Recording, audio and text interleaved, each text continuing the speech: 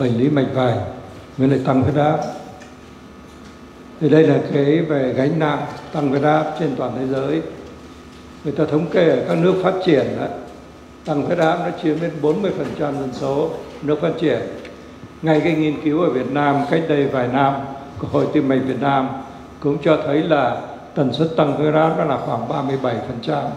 Thực ra đó là con số không ngờ.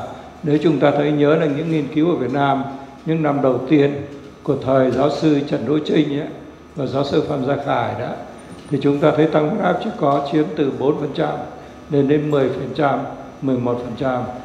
Trong khi đó thì Việt Nam hiện nay có khoảng 37% tăng huyết áp. Các đồng nghiệp cũng biết là 85% bệnh nhân có bệnh tim mạch, có bệnh đồng mác là chính là tăng huyết áp. Thì khi mà bệnh nhân bị tăng huyết áp, chúng ta đều biết là điều trị căn bản hàng đầu là thay đổi lối sống. Đây là cái mà chúng ta luôn luôn nhắc người bệnh. Dù chúng ta có uống một thuốc, hai thuốc, ba thuốc điều trị tăng huyết áp, người bệnh nhân của chúng ta cần thay đổi lối sống. Thứ nhất là chúng ta phải tìm cách giảm cân nặng. Người ta chứng minh là giảm cân nặng, thế giảm được 5 mm thủy ngân huyết áp. Chúng ta ăn chế độ ăn DAS, như hôm nay tôi ăn ở Cần Thơ là phần lớn ăn cá không à. Ăn cá là chế độ ăn DAS á. Chế độ ăn DAS các đồng nghiệp chỉ được ăn thịt đỏ một tháng một lần. Thịt đỏ tức là thịt heo với thịt bò. Ăn thịt gà một tuần một lần. Còn mỗi ngày nhớ ăn cá với rau củ quả. Đó, thành ra thì lúc đó thì chúng ta sẽ giảm được 11 mm thủy ngân huyết áp tuần thu. Chúng ta nhắc nhắc bệnh nhân là các bác bớt ăn mặn và nên ăn kali nhiều. Kali nhiều thì đương nhiên là trong chuối, những loại rau của chúng ta có khá nhiều kali. Cái điểm thứ hai là tôi có hỏi những bác sĩ trẻ tôi dạy ấy, một tuần mà tập thể dục bao nhiêu phút thì 90% chắc không có tập gì hết. Trong khi đó thì các thầy cô về già năm 60 tuổi, 70 tuổi đó vội vàng đi tập thể dục. Người ta khuyên chúng ta nên tập là 150 phút một tuần, tức một tuần 5 ngày, chúng ta phải khoảng mỗi ngày 30 phút. Không đây là cái mà chúng tôi vẫn thường nhắc bệnh nhân, đặc biệt mấy bác mà đặt stent mạch vành rồi đó. Chúng ta nhắc các bác cái là cái tập thể dục rất có lợi, vận động. Thứ hai là tập thể dục chúng ta tập cái gì, bất cứ cái gì thể dục nào cũng đều có lợi hết. Ví dụ bệnh nhân hỏi tôi là và tôi đi bộ được không? Các đồng nghiệp nhớ đi đi bộ vẫn được nhé. Không bắt buộc chúng ta phải là jogging. Jogging là chúng ta đi bộ nó hơi nhanh đấy. Nhưng không bắt buộc với người già thì chúng ta nó bác cái đi thế nào cũng được. Miễn là thư giãn, cái điều đó có ích cho người bệnh. Rồi sau đó thì uống rượu vừa phải. Đây là cái khuyến cáo năm 2018 của Hội Chối Tim Mạch Châu Âu về điều trị tăng huyết áp. Cái khuyến cáo này đặc biệt là nó cổ võ hai thứ thuốc. Là thứ nhất là ức chế men chuyển hoặc trần tự thể, cộng với ức chế canxi hoặc lợi tiểu. Đây là những thuốc đầu tiên trong điều trị tăng huyết áp. Mà thực ra thì trong điều trị hàng ngày, phần lớn là chúng ta đều chưa vậy. Tuy nhiên, đương nhiên qua phần trình bày vừa rồi của bác sĩ trí đã các đồng nghiệp thấy là có những bệnh nhân chúng ta vẫn cần phải thêm chẹn beta vào cho người bệnh. Dĩ nhiên cái này chúng ta điều trị thay đổi theo cá thể. Trong khuyến cáo này người ta nói là bước đầu tiên đó, chúng ta có thể phối hợp hai thuốc. Thứ nhất ứng chế biến chuyển cộng ứng chất canxi. Thường ứng chất canxi ở đây là nhóm dihydropyridine. Các đồng nghiệp có thể dùng amlodipine, các đồng nghiệp có thể dùng felodipine hoặc là nếu bệnh nhân phù cổ chân vì amlodipine thì các đồng nghiệp có thể dùng là canidipine hiện nay chúng ta có sanidip hoặc là lacidipine lacidipine của hãng GSK đó thuốc này khá rẻ đặc biệt nó không có phủ chân tuy nhiên lacidipine tác dụng hạ huyết áp nó yếu hơn là amlodipine. sau đó chúng ta phối hợp hai thuốc ức chế men chuyển hoặc trên cơ thể cộng với ức chế canxi cộng lợi tiểu chưa bệnh nhân tăng huyết áp kháng trị chúng ta định nghĩa là tăng huyết áp kháng trị khi bệnh nhân đã dùng ba thứ thuốc tăng huyết áp ba nhóm khác nhau. trong đó có lợi tiểu liều tối đa mà không đạt mục tiêu. Chúng ta định nghĩa là tăng huyết kháng trị. Thường thường lúc đó chúng tôi hay thêm cái spironolactone hoặc là người ta bảo chúng ta thêm chẹn beta.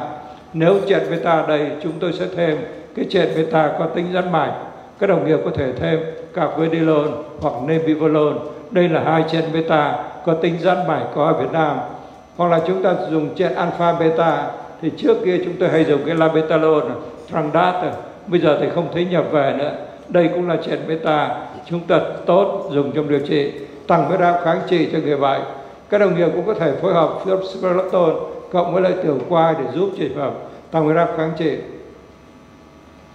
Trường bệnh nhân tăng huyết áp kèm đái tháo đường thì thuốc đầu tiên chúng ta phải nghĩ đến thuốc tác động trên hệ thống RAS tức là ức chế men chuyển hoặc chèn tự thể cộng với ức chế canxi cho người bệnh, người ta chia ra đái tháo đường có bệnh thận hoặc là không bệnh thận nếu có bệnh thận bắt buộc chúng ta phải bắt đầu bằng thuốc ức chế men chuyển hoặc chèn đô thể angiotensin 2 còn nếu mà không có bệnh thận thì đôi khi chúng ta vẫn có thể bắt đầu bằng ức chế canxi hoặc là tiểu đường, nhưng mà trong trong thực hành lâm sàng, luôn luôn dù không có bệnh thận người có đái tháo đường, thuốc đầu tiên chúng tôi vẫn muốn là ức chế men chuyển hoặc trần thể đề sau đó là chúng ta phối hợp hai thuốc cho người bệnh nhân thì ở đây người ta nói bệnh nhân có kèm đái tháo đường đó. Chúng ta nên theo dõi sát cái kali máu. Mà người đặc biệt thì người ta sợ kali đã tăng cao chứ không phải kali xuống thấp. Kali xuống thấp thường nó có biểu hiện lâm sàng. Chúng ta dễ biết, nhưng kali tăng cao có thể bệnh nhân đột tử mà chúng ta không biết. Ví dụ các đồng nghiệp dùng môi chất miễn chuyển, cộng spironolactone thì cái nguy cơ ở người cao tuổi, kali tăng cao sẽ có nhiều.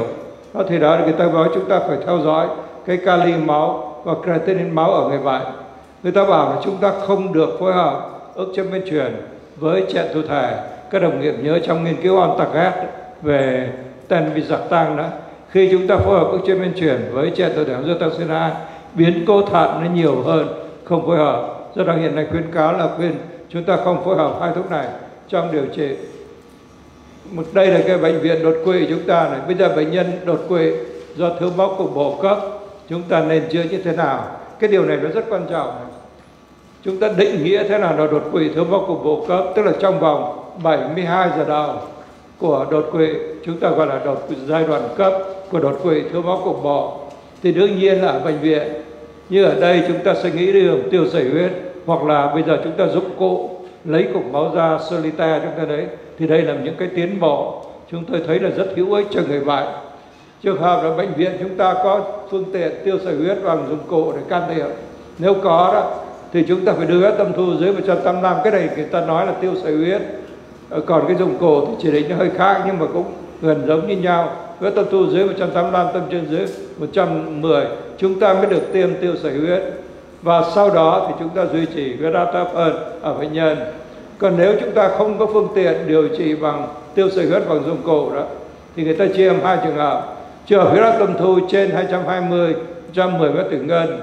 Chúng ta chỉ được hạ áp mà khoảng 15%, 15% chỉ số này trong vòng 24 giờ đầu. Cái vấn đề là chúng ta hạ áp thấp quá cái vùng tranh tối tranh sáng của não nó sẽ trở thành vùng hoại tử đó là lý do chúng ta không nên hạ thấp quá. Còn nếu mà bệnh nhân huyết áp tâm thu dưới 220 dưới 110 mét thủy ngân thì trong trong vòng 48 đến 72 giờ đầu nếu chúng ta hạ huyết áp không có lợi ở đây nó nói là không có lợi. Và do đó thì chúng ta chỉ trường hợp bệnh nhân trước đó đã có tăng huyết áp thì chúng ta khởi đầu lại cái thuốc tăng huyết áp. Nếu bệnh nhân đã ổn định triệu chứng thần kinh thì đây là cái mà nhiều khi mà thầy thuốc cứ vô tình chúng ta có thể là chính cái, cái thân nhân tác động chúng ta nôn nóng chúng ta hạ huyết áp có thể nó có hại cho người bệnh tổn hại thần kinh nhiều hơn cho bệnh nhân chờ bệnh nhân xuất huyết nội soi cấp thì chúng ta cũng cần quan tâm. Thì chúng ta định nghĩa là cấp trong trường xuất huyết nội soi là trong vòng 6 giờ đầu, chúng ta định nghĩa là giai đoạn cấp. Thiếu máu cục bộ, chúng ta định nghĩa là trong vòng 72 giờ đầu, giai đoạn cấp. Còn đây là 6 giờ đầu. Huyết áp tuần thu ở trên 220 thì chúng ta chỉ hạ huyết áp rất từ từ bằng truyền tĩnh mạch. Thì hiện nay ở Việt Nam phần lớn là chúng ta chỉ có lacidipin truyền tĩnh mạch thôi. Hoặc là nitroserin chúng ta truyền hạ áp chứ còn chúng ta không có phương tiện khác để chuyển tĩnh mạch hạ áp.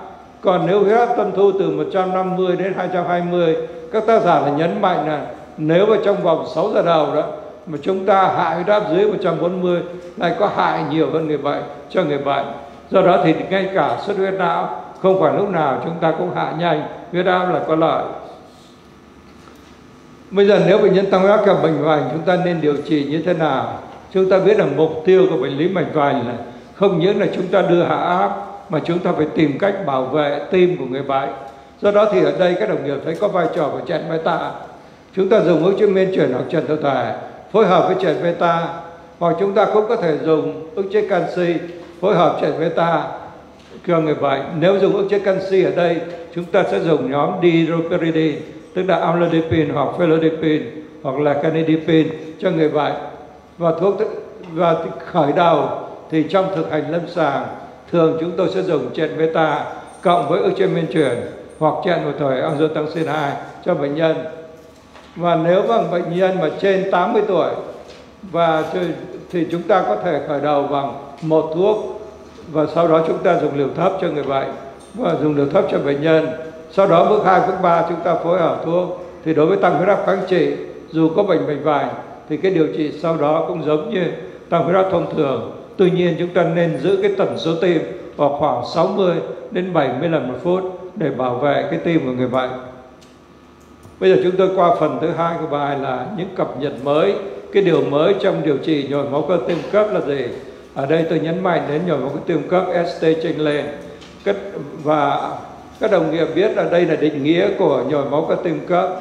Nếu chúng ta bị mảng sơ vỡ, bị nứt, bị vỡ, nó làm nghẽn hoàn toàn mạch vành chúng ta có nhồi máu cơ tim cấp estrogen lên nếu nó nghẽn không hoàn toàn mạch vành, thì chúng ta có hội chứng động mạch vành cấp gồm có không estrogen lên bao gồm đau thắt ngực không ổn định hoặc nhồi máu cơ tim không estrogen lên thì chúng ta biết là trong trường hợp nhồi máu cơ tim cấp estrogen lên ở nước ngoài đó, người ta sẽ chở ngay bệnh nhân vô phòng thông tin.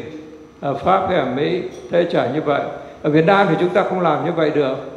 Cái vấn đề chính của chúng ta là bệnh nhân phải có bảo hiểm y tế bệnh nhân phải có khả năng chi trả. Do đó luôn luôn chúng ta vẫn phải qua cái cầu cấp cứu rồi ta chúng ta mới được chuyển đến phòng thông tin bệnh nhân. Đó tôi nhớ phó giáo sư giáo sư võ thành nhân ấy, có làm nghiên cứu về chúng ta điều trị hội chứng bệnh viện cấp ở một số bệnh viện thành phố Hồ Chí Minh. Chúng ta không thể nào đạt được tiêu chuẩn như nước ngoài tại vì luôn luôn vấn đề là bệnh nhân có thể khả năng chi trả cho cái thủ thuật thông tin can thiệp của chúng ta hay không. Thì đây là những cái mà chẩn đoán nhờ một cơ tim cấp chúng ta chỉ chẩn đoán khi nào bệnh nhân cái thay đổi cái biomarker là động hào. thì cái biomarker không biết là bệnh viện chúng ta dùng troponin Y hay T nhưng mà chúng ta nhớ là chúng ta dùng chỉ nên dùng một loại troponin cho bác sĩ quen thuộc. Ờ, ví dụ như chúng ta lần đầu chúng ta thử troponin Y thì một giờ hoặc ba giờ sau chúng ta cũng thử troponin Y. Lần đầu chúng ta thử troponin T lần sau thử troponin T. Và đa số giai đoạn đầu bệnh viện chúng tôi chỉ để thử một loại protein cho nó quen như vậy. Đó, đây đây là cái mà chúng ta biết là chúng ta chỉ định nghĩa là nhồi máu cơ tim cấp khi bệnh nhân có thay đổi đồng học troponin chứ còn nếu mà không có thay đổi đồng học thì chúng ta có đến mười mấy bệnh nó có thể tăng troponin trong máu kể cả người cao tuổi người suy thận troponin nó cũng có thể tăng. Kể cả suy tim troponin cũng tăng bóc tách đồng mạch chủ troponin vẫn có thể tăng ở người bệnh. Do đó thì cái định nghĩa chúng ta luôn luôn cái quan trọng là cái biomarker chứ nếu có thay đổi đồng học là chúng ta có cái nhồi máu định nghĩa nhồi máu có tim cấp của bệnh nhân.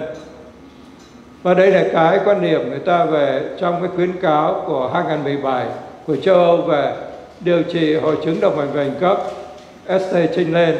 Thì chúng ta thấy là người ta cái quan trọng người ta chỉ, bệnh nhân có bị bệnh gọi cấp cứu xe cấp cứu đến đón.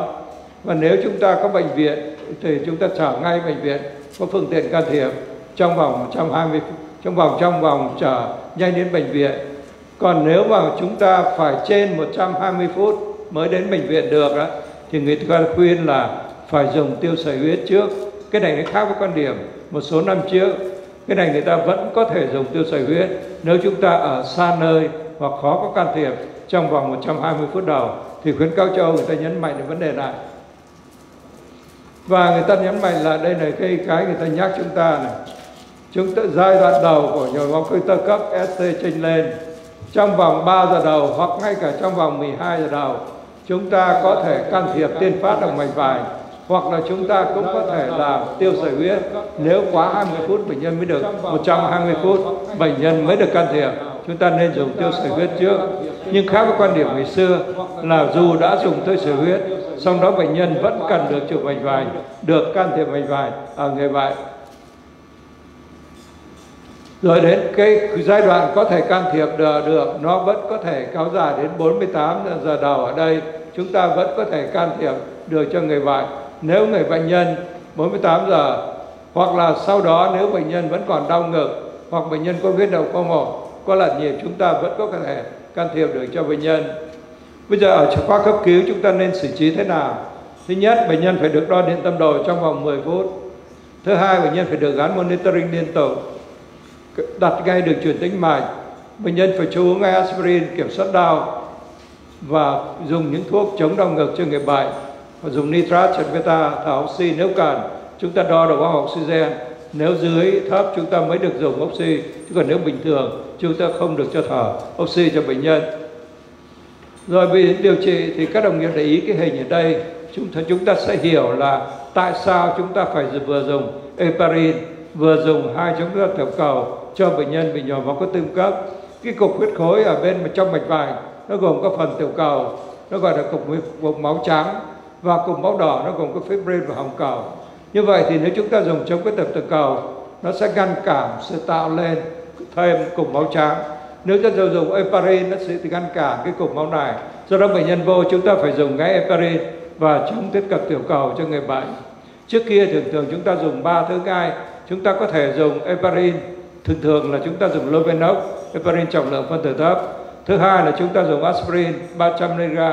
Thứ ba, chúng ta dùng ngay liều nạp Clogran thì quan điểm mới hiện nay người ta khuyên là đối với ticagrelor hoặc là prasugrel là hai cái chống cái tập tiểu mạch chúng ta chỉ được dùng liều nạp khi chúng ta đã biết giải phẫu mạch vành, người bệnh.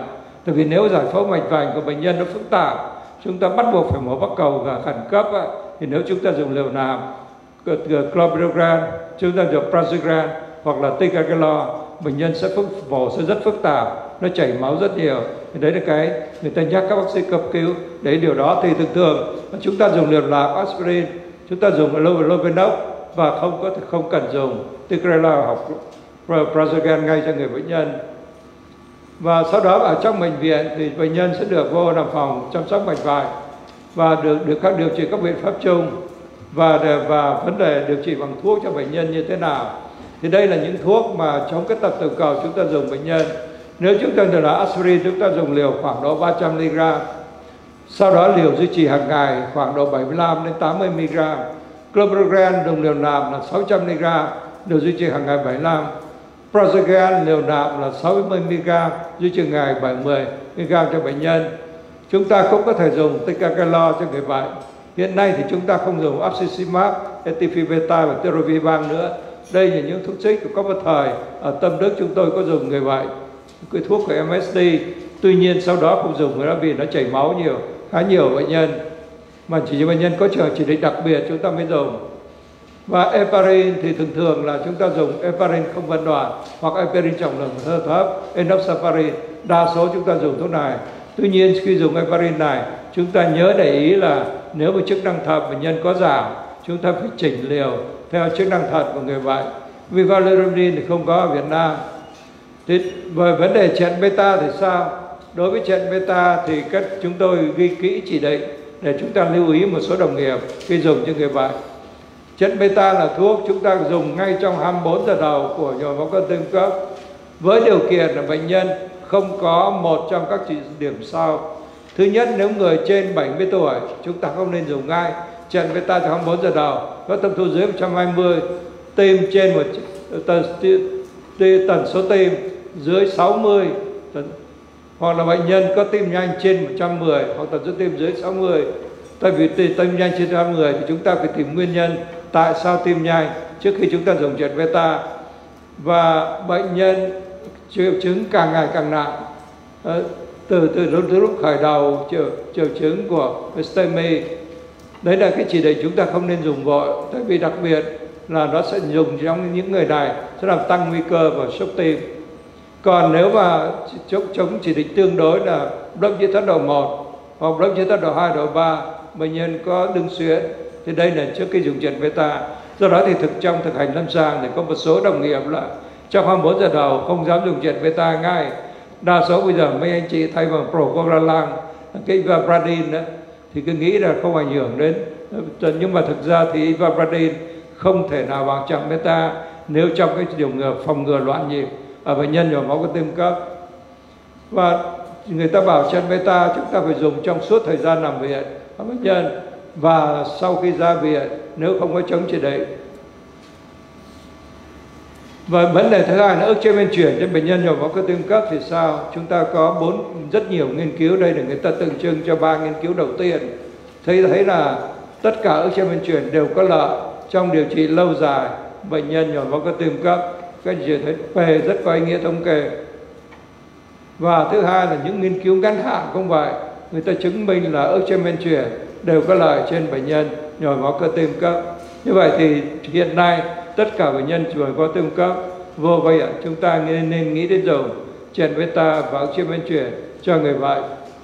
Nếu bệnh nhân không dùng nào báo chiêm bên chuyển chúng ta mới dùng chèn thổ thể angiotensin thuốc thứ ba thuốc đối kháng dosterone thì cái thuốc nghiên cứu ở đây là eplerenone đây là thuốc chứ không có ở Việt Nam.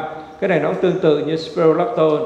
Thường ở Việt Nam thì chúng ta dùng cái spironolactone nhiều hơn. Cái này thì thuốc này đặc biệt nó nghiên cứu trên bệnh nhân.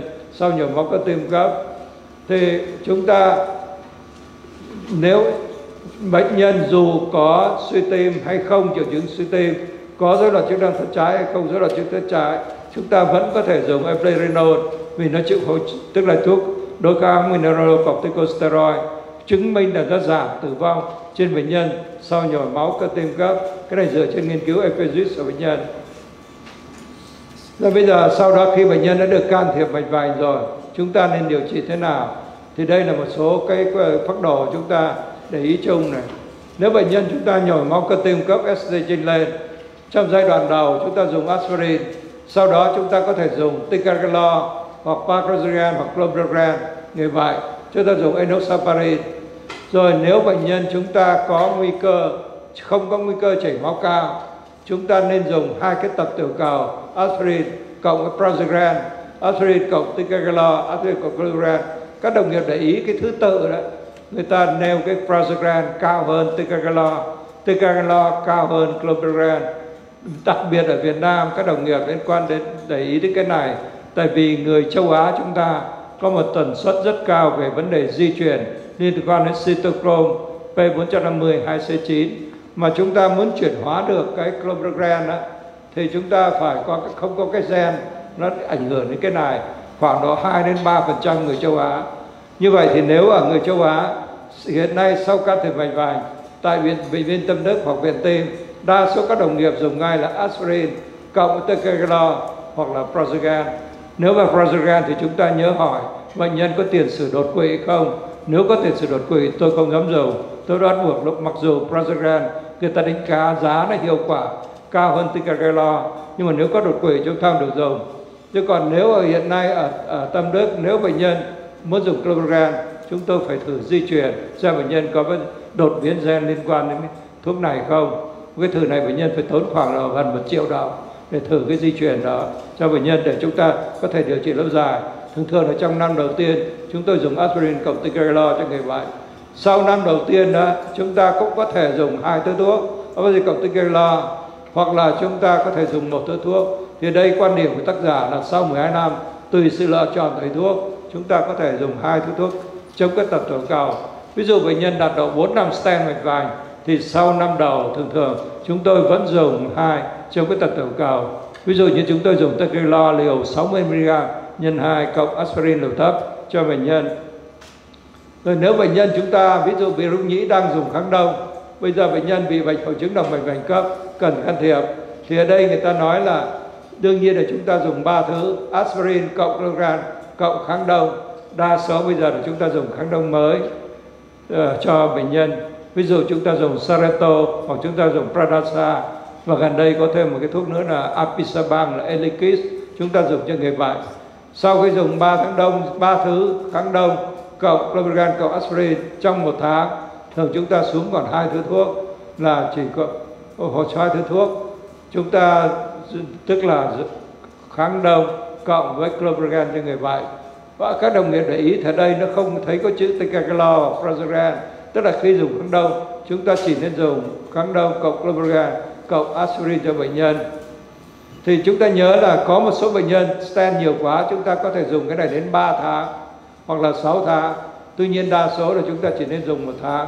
Còn đặc biệt nếu bệnh nhân nguy cơ chảy máu cao thì chúng ta chỉ đặc biệt chỉ cần dùng một tháng, sau đó chúng ta chuyển hai, một kháng đông cộng aspirin hoặc chlorogan cho người bệnh. Rồi bây giờ chúng ta nhớ là ức chế men chuyển là cái chỉ định hàng đầu trong bệnh nhân hội chứng động mạch vành cấp. Ra là ức chế men chuyển có giống nhau hay không? Thì, và ức chế men chuyển đó có cái chỉ định nghiên cứu trên bệnh nhân nhồi máu cơ tim không? Thì đây là tính chất dược lý có ức chế men chuyển của có nhóm sulfidrin này thì cái nhóm mà có gốc sulfidrin thì nó có tính ái lipid khả năng năng thâm nhập vào mô cao. Nó hiện nay chỉ có hai chiếc men chuyển thâm nhập mô cao. Thứ nhất là zofenoprin thứ hai là ramiprin ramiprin nó không phổ biến Việt Nam ở bên Mỹ phổ biến rất nhiều. Thứ ba prendoprine cũng thâm nhập vào mô nhưng không có nghiên cứu trên bệnh nhân nhồi máu cơ tim. Thứ nhất là và ít bị ảnh hưởng tác dụng phụ từ bradykinin hơn, tại vì chúng ta nhớ là trên men chuyển nào có tác dụng phụ về bradykinin nhiều, bệnh nhân sẽ ho nhiều. Trước kia chúng ta thấy cái tanatrin đấy người ta quảng cáo là ít ho, thì bây giờ có thêm thứ nữa, quảng cáo ít ho hơn. Và hiệu quả trong chống oxy hóa và thì ở đây chúng ta thấy nghiên cứu cái thuốc ức chế men chuyển, cái nhóm zopinaprin nó có gốc hydrogen sulfide thì, thì cái nghiên cứu chứng minh là nó làm giãn mạch nhiều hơn cái khả năng giãn mạch nhiều hơn khi chúng ta dùng so sánh với các thuốc ở trên men chuyển khác. Và đây là cái lịch sử của các ở trên men chuyển nghiên cứu trên bệnh nhân nhồi máu cơ tim cấp cái nghiên cứu đầu tiên là nghiên cứu C và với captopril rồi enalapril consensus 2 sau đó chúng ta có nghiên cứu lisinopril với C3 rồi smile là bezofenoprin rồi chúng ta có tranoloprin tranoloprin trên nghiên cứu trên bệnh nhân nhồi máu cơ tim này là này là thất bại không thành công.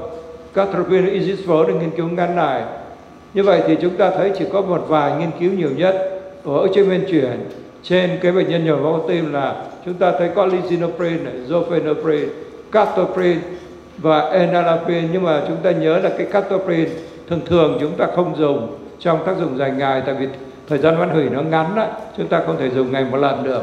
Trong điều trị trong nghiên cứu SMILE 4 về huyết áp thì người ta so sánh giữa zoniferin với ramiprin là cái nghĩa thuốc chuẩn ở bên Mỹ người ta thường dùng.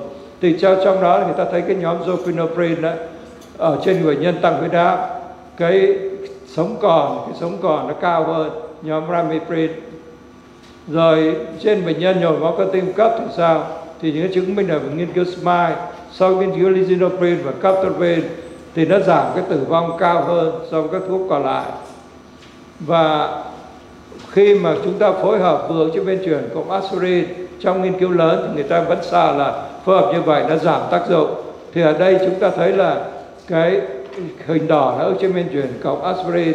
Thì trong nghiên cứu SMILE là này, thì chúng ta dù phối hợp aspirin như vậy chúng ta vẫn giảm được biến cố của mạch vành của bệnh nhân. Rồi thì ở đây chúng ta nghiên cứu về tỷ lệ tử vong nhập viện. Do nguy cơ tim mạch, nhóm zofenoprin so với ramipril có lợi hơn ở bệnh nhân. Để kết luận và trình bày chúng tóm tắt một số điểm như sau. Trong những tiến bộ hiện nay về điều trị tăng huyết áp, thì một cái điểm đặc biệt là người ta cho phép chúng ta phối hợp sớm trong điều trị, tức là mục tiêu điều trị có thể thấp hơn. Các đồng nghiệp nhớ cái nghiên cứu Spring của Mỹ đó nó chứng minh là chúng ta có thể đưa huyết áp tâm thu tới 120 mét thủy ngân, huyết áp tâm trương tới dưới 80 mét thủy ngân trong điều trị. Thứ hai là người ta khuyên chúng ta nên kết hợp sớm. Ở đây thuốc kết hợp sớm chính là ức chế men chuyển hoặc truyền thổ tải cộng với lại ức chế canxi, nhóm didropidin hoặc ức chế men chuyển hoặc hoặc kết hợp với lợi tiểu. Và bước thứ hai là chúng ta dùng ba thuốc. Và luôn luôn khi chúng ta điều trị tăng huyết áp chúng ta phải quan tâm đến bệnh nội khoa kèm theo. Tức là chúng ta điều trị toàn diện người bệnh. Không phải chỉ có số quan tăng huyết áp. Chúng ta giữ đái tháo đường là mục tiêu điều trị. Chúng ta quan tâm liệu chúng ta dùng thuốc có làm tăng cái bệnh thần mạng của người bệnh hay không? Và chúng ta có kiểm soát được bệnh mạch vành của bệnh nhân hay không? Còn về cái nhồi máu cơ tim cấp estrogen lên, trong theo khuyến cáo, cho những năm gần đây người ta thấy là thời gian là rất quý báu. Chúng ta đưa bệnh nhân đến bệnh viện càng sớm càng tốt để chúng ta có thể can thiệp mạch vành hoặc dùng tiêu sẩy huyết cho người bệnh à, mặc dù can thiệp mạch vành rất phát triển thế giới người ta thấy là vai trò tiêu sẩy huyết vẫn có lợi và đặc biệt bệnh nhân dù dùng tiêu sẩy huyết rồi chúng ta vẫn phải chuyển đến bệnh viện có thể can thiệp mạch vành cho bệnh nhân Sau can thiệp chúng ta dùng hai cách tập tiểu cầu qua nghiên cứu TEMIS mà Việt Nam có tham dự nghiên cứu. Chúng ta có thể dùng trong 36 tháng cho bệnh nhân vẫn có lợi cho người bệnh. Và chen beta thuốc RAS tức là ở trên trường trần tô thể càng sớm càng tốt cho người bệnh. Tuy nhiên chúng ta luôn nhắc người bệnh là các bác được mổ bắc cầu rồi, các bác được đặt stent rồi, không phải là hết chuyện. Nó không giống như mổ ruột thừa. Các bác phải thay đổi lối sống, phòng ngừa thứ cấp điều trị suốt đời để ngăn cái bệnh nó tái diễn. Xin cảm ơn chủ chú ý các đồng nghiệp. À, cảm ơn à, bài báo cáo của phó giáo sư tiến sĩ phạm nguyên vinh để tiếp tục